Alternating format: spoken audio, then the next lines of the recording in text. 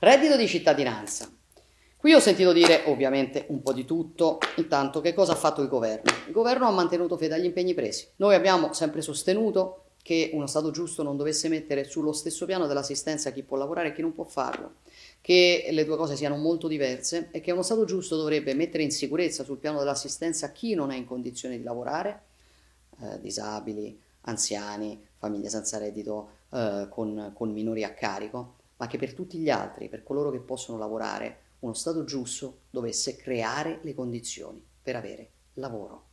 E quello che intendiamo fare e che in parte cominciamo a fare, perché nella manovra finanziaria c'è ad esempio una decontribuzione totale per chi assume alcune categorie di persone, tra cui i percettori di reddito di cittadinanza.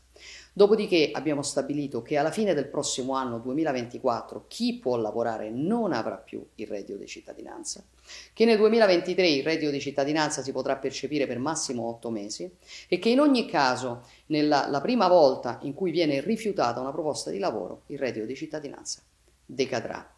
E qui ho sentito dire un po' di tutto. In primis ho sentito dire che noi facciamo cassa sui poveri. Falso. Atteso che tutti i, diciamo, i, i soldi che possiamo recuperare da queste nostre scelte sul reddito di cittadinanza vengono tutte reinvestite sulla possibilità, sulla, su chi è più in difficoltà e sulle possibilità, come ho detto prima, di creare nuovo lavoro.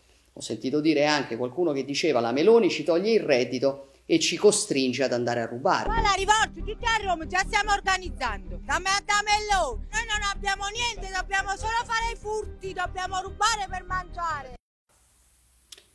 Tra il reddito e rubare, l'opzione di andare a lavorare, forse la dovresti anche prendere in considerazione. E anche qui è vero che il lavoro è difficile in Italia, però forse non è neanche così difficile come alcuni pensano.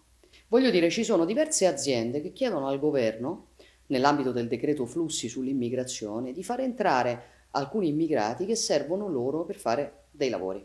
E io ho chiesto quali fossero i contratti con i quali queste, eh, questi immigrati irregolari che noi vogliamo fare entrare in Italia eh, avrebbero lavorato e mi è stato risposto contratto collettivo nazionale.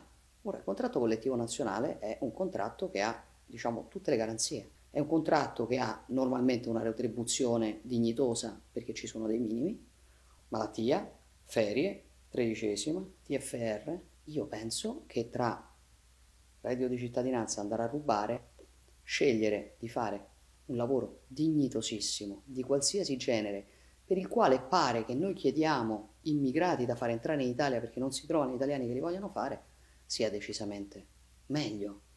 Quindi quello che io voglio fare è aiutare le persone a uscire dalla loro condizione di povertà con il lavoro, perché il lavoro ti può portare ovunque mentre il reddito di cittadinanza ti mantiene dove sei.